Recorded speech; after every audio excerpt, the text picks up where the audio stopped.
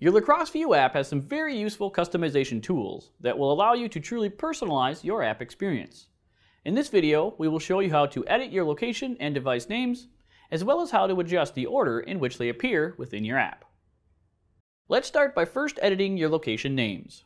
Enter the main menu by pressing the menu button in the top right for iOS users and top left for those on an Android.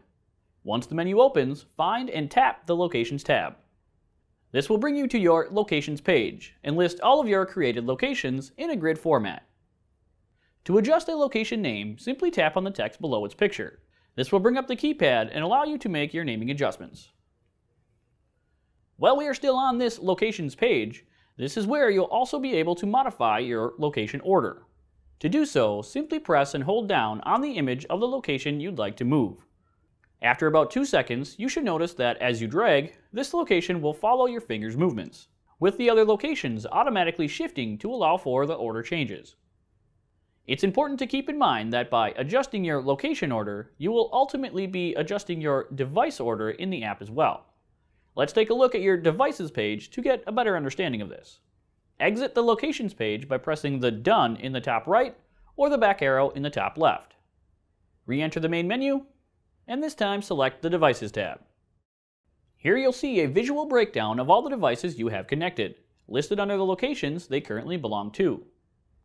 So as we were saying, if you adjust your location order, you will actually be moving all of the devices listed under that location along with it. But now that we're on this devices page, you can easily adjust your device order here by pressing and dragging the handle icon to the right of that device. You'll notice that you can even move devices to new locations using this method as well.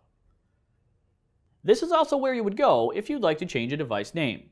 Simply tap the text of the current device you'd like to update, and a keypad will once again come up, allowing you to make this naming adjustment.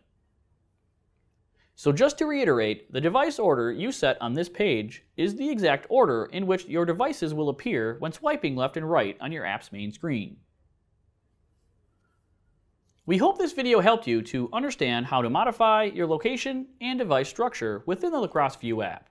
But if you should have further questions or issues with any of the topics covered in this video, please just let us know in the YouTube comments section below. We are here to help you. In the meantime, don't forget to hit the subscribe button at the end of this video to receive all of our latest content and further video instruction. Thanks again for choosing La Crosse Technology.